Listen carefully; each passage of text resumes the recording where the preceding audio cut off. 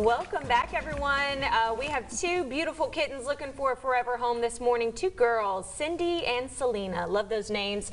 We, of course, also have Miss Wendy Decker joining us this morning. She's going to introduce us to these cutie pies. Good morning. Good morning. So tell us a little bit about Cindy and Selena. Well, they're sisters, and of course, both girls. They're about 10 weeks old, and so they're going to get fixed probably this week and be ready for their forever homes. Oh, y'all looking for a forever home. They're so sweet. Yes, they are very so, I have Cindy and then Selena, is that correct? Yes, she white has a little bit of white on her. Awesome. yes. So how about shots and all that good stuff? They're up to date on everything? They're going to be up to date on their vaccinations. They're tested for feline leukemia and FIV. They're um, going to be microchipped and, of course, spayed or neutered before they go home. Awesome. And they haven't been spayed yet, but you can still pre-adopt. How does that work? That's right. Um, you can go ahead and fill out all the paperwork and pay the fee for them, and then they can go home as soon as they are fixed. And they go to the top of our surgery list whenever they are pre-adopted. Awesome. So are they living in a foster home right now? You know, do we have any information on their personalities? They're just very sweet, very cuddly, a little bit curious, purr a lot. They were in a foster home. They came to Cat Haven yesterday.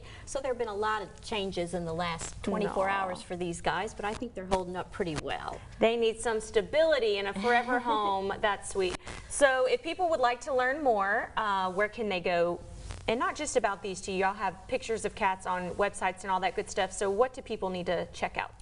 Our latest pictures are always going to be on our Facebook page at Cat Haven Baton Rouge. And then, of mm-hmm. course, we do have a website. The pictures show up there also and information about the cats. That's cathaven.org. And, of course, come by our adoption center. We're on North Harrells Ferry. We're open every day from noon until 6, except Sundays when it's noon until 4.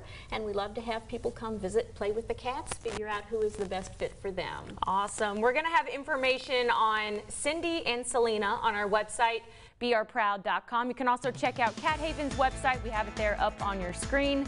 We're going to take a quick break. Hopefully we can find these gals a forever home. We'll be right back.